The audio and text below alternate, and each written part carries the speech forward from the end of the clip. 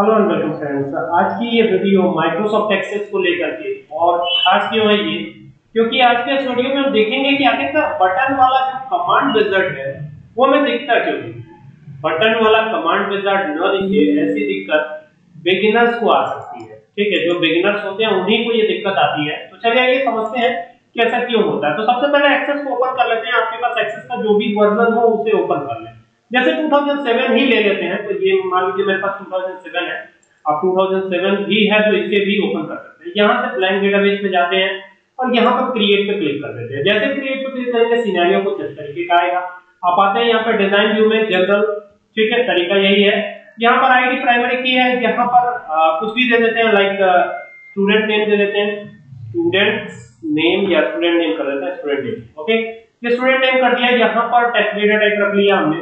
और यहाँ पर क्लास कर देते हैं C L A double S ये क्लास कर दिया और क्लास को हम नंबर डेटा टाइप या टेक्स्ट दोनों ही रख सकते हैं। टेक्स्ट रख करके और यहाँ से यस कर देते हैं। अब ये हो गया, यहाँ पर आपको बटन विजर्ड नहीं दिखेगा। जो कमांड बटन विजर्ड है, वो यहाँ पर नहीं दिखेगा और ये तब तक नहीं दिखेगा जब तक कि आप फॉर्म नहीं बनाएँगे। तो फॉर्म बनाना बहुत ही ज़्यादा ज़रूरी है। यहाँ पे क्रिएट पे जाइए और जैसे ही आप फॉर्म बनाएँगे तो आपको वो सारी चीज़ें नज़र आने लग जाएँगी। तो यहाँ पर यहाँ पर देखिए आईडी की ज़रूरत अगर हमें है तो आईडी ले लेते हैं स्टूडेंट नेम की ज़रूरत है, उसे ले लेते हैं। और ये क्लास की ज़रूरत है तो क्लास भी ले लेते हैं। ध्यान रखिएगा कि ये डिज़ाइन व्यू पे आप इसे लीजिएगा, ठीक है? ये डिज़ाइन व्यू पे है, आप लोगो लगाना चाहते हैं, आपके पास लोगो मौजूद है तो यहाँ से लगा भी सकते हैं। आपको ये इस तरीके से दिखेगा, ऊपर होता हुआ, ठीक है? कभी आप यहाँ से जाकर के बटन बना सकते हैं। ये बहुत आसान है, अब एक क्वेश्चन आया हुआ था। तो अब देखिए, ये बटन विजर्ड काम नहीं कर रहा। ये देख तो रहा है, लेकिन काम नहीं कर रहा है। अब काम करे, ऐसा क्या करें हम तो काम करें, इसके लिए एक्टिव ये जो दिया हुआ यूज़ कंट्रोल विजर्ड इस पे एक बार क्लिक कीजिए। देखते हैं ये काम करता है या नहीं। तो यहाँ पे इसको ड्रैग करवाया। आप देखिए, यही चीज़ जो है, अब काम करने लगी। तो जब इस पर क्लिक रखेंगे, ध्यान दीजिएगा इसको मैं डिलीट करता हूँ। फिर आपको दिखाता हूँ एक बार।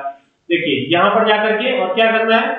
सिंपल वे में इस पर क्लिक कर दीजिए। अब यहाँ से बटन तो दिख रहा है आपको, लेकिन यहाँ पर जाकर के इसको ड्रैग करवाएँगे। तो आपको विजर्ड नहीं ओपन होता हुआ दिखेगा। तो एक बार इस पर क्लिक कर देंगे तो विजर्ड भी ओपन होने लगेगा, ठीक है?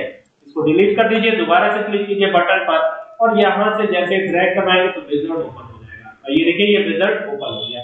तो यही वो तरीका है जिससे आप विजर्ड ओपन कर सकते हैं कमांड विजर्ड को ओपन कर सकते हैं ओके